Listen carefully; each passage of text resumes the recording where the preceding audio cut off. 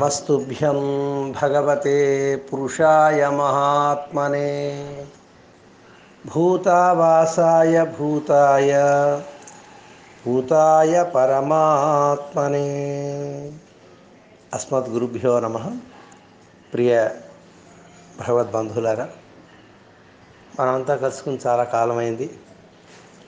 బహుశా మీరంతా మీ మీ గృహాలలో నిత్య ఆరాధనలో భగవదు సంబంధమైనటువంటి అనుచింతనలో సమయాన్ని గడుపుతున్నారు అని మేము భావిస్తాం. ప్రకృతి వైపరీత్యం కలిగింది. మనం ఎవరం కూడా ఇలాంటి పరిస్థితి వస్తుంది అని కానీ ఇలాంటి పరిస్థితులు ఉంటాయి అని కానీ మానవాళి ఏనాడు ఊహించలేదు. మానవుల ఊహలకు అతీతమైనటువంటి శక్తి నేనున్నాను అని అంటూ ఒక్కసారి దిగ్భ్రాంతిని కలిగించింది మానవ జాతిని సాధారణంగా భగవంతుడిని నమ్ముకున్నటువంటి వాళ్ళకి ఇది సాధారణమే అనిపిస్తుంది. కారణం భగవంతుడు ఆయన శక్తిమయుడు కనుక ఈ జగత్తుని తను వశం చేసుకోవడానికి తన యొక్క స్వాతంత్ర్యం చేత ఏమైనా ఎప్పుడైనా ఎలా అయినా చేస్తాడు అనే విశ్వాసం భగవంతుని నమ్మిన వారికి ఆయన గురించి తెలుసుకునేటువంటి ఆధ్యాత్మిక పరులకు సాధారణంగా అనిపిస్తుంది. కానీ ఎప్పుడూ ధనాన్ని సంపాదించడం మానవ శక్తితో ముందుకు వెళ్ళాలి అభివృద్ధిని సాధించాలి ఏదో పొందాలి అనేటువంటి వారికి ఇది మాత్రం ఖచ్చితంగా దిగ్భ్రాంతిని కలిగించేటువంటి విషయమే. అయితే ఏ కొందరికో బుద్ధి ఇవ్వడం కోసం భగవంతుడు ఇది చేసినా ఇది మనలాంటి వాళ్ళని సద్వినియోగం చేసుకోవడానికి ఓ మంచి అవకాశం.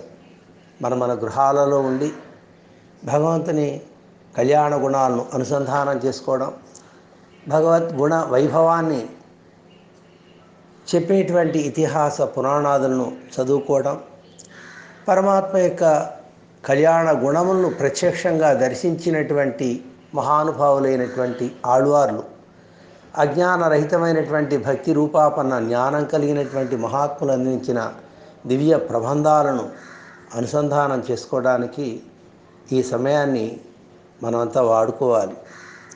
సాధారణమైనటువంటి రోజుల్లో ఇలాంటి కార్యక్రమాలు చేయడానికి కొంచెం సమయం తక్కువగా ఉంటుంది.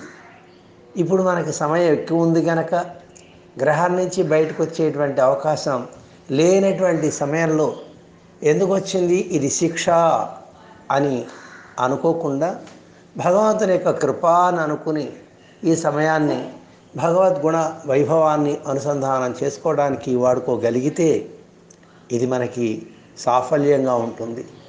పరమాత్మ ఎందుకోసం చేసాడో మనకు తెలియదు.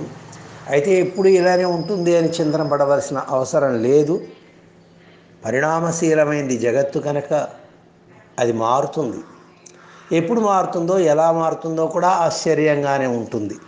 కనుక భగ జరిగినటువంటి స్థితిని గురించి ఆలోచన చేయడం కంటే పరమాత్మను గురించి ఆలోచన చేయడం విజ్ఞత. కనుక భగవద్గుణాలను మనం అనుసంధానం చేసుకుందాం.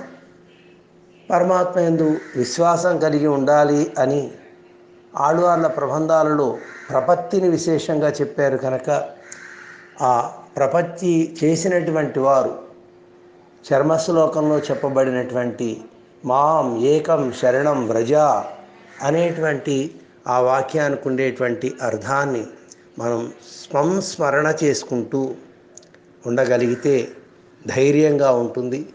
ప్రక్క వాళ్ళకి ధైర్యాన్ని చెప్పగలుగుతాం. ఏది ఏమైనా పరమాత్మ గుణానుసంధానంతో ఎక్కువ సమయాన్ని గడిపే ప్రయత్నం చేద్దాం.